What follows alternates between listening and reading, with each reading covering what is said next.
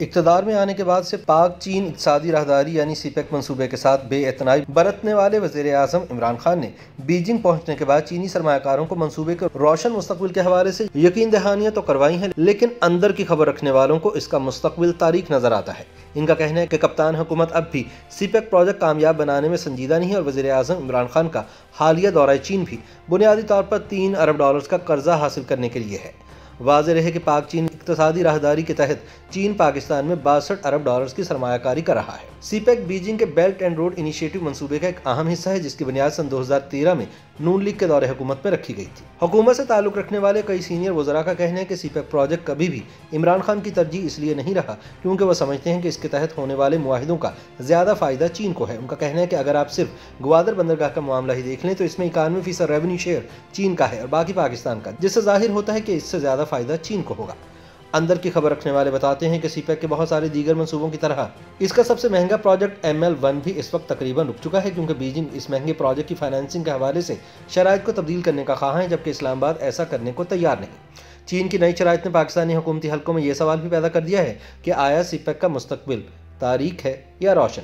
Was है कि पाकिस्तान में गुजशत कुछ अर्सों से बातें गर्दिश कर रही हैं कि बीजिंग पाकिस्तान से इजाफी गारंटीज या यकीन दहानियाँ मांग रहा है। लेकिन पाकिस्तान चीन पर यह वाजे कर चुका है कि वो कोई इजाफी गारंटी नहीं देगा और ये कि काम मुख्तर गारंटी पर ही होना चाहिए, क्योंकि पाकिस्तान कभी किसी कर्जे पर डिफ़ॉल्ट नहीं हुआ। बताया जाता है कि चीन एम एल वन मनसूबे की फाइनेंसिंग के हवाले से शराय में तब्दीली चाहता है। इसलिए एम एल वन मनसूबे पर अब कोई अमली काम होता दिखाई नहीं दे रहा। और इस मनसूबे पर बदस्तूर डेडलॉक चल रहा है।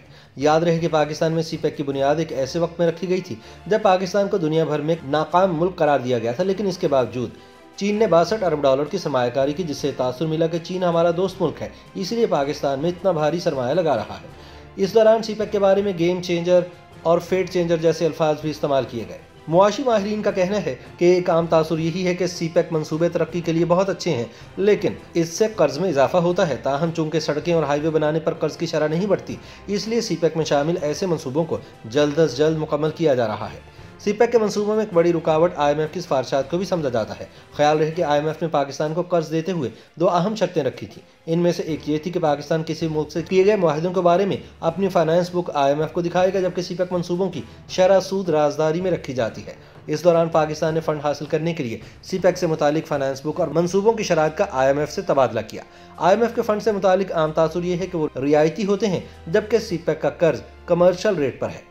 इसलिए आईएमएफ ने पाकिस्तान से कई बार कहा है कि वो आईएमएफ के फंड को सीपैक से जुड़े मंसूबों का कर्ज चुकाने में इस्तेमाल नहीं करेगा और पाकिस्तान पर ज़ोर दिया है कि वो अपना कर्ज कम करे। सीपैक के बारे में एक हुकूमती वज़ीर ने नाम ज़ाहिर न करने की शर्त पर बताया कि 2018 में आने वाली तहरीक इंसाफ हुकूमत सीपैक और इससे मुंसलिक मनसूबों को तशवीश से देखती है। अमूमी तासर ये था कि चीन की जानब पाकिस्तान का रुझान बहुत ज़्यादा है, जिसे बैलेंस करने की ज़रूरत है, क्योंकि इससे पहले तरक्याती और मुआशी कामों के हल के लिए पाकिस्तान का रुझान अमरीका और यूरोप की तरफ़ रहा है।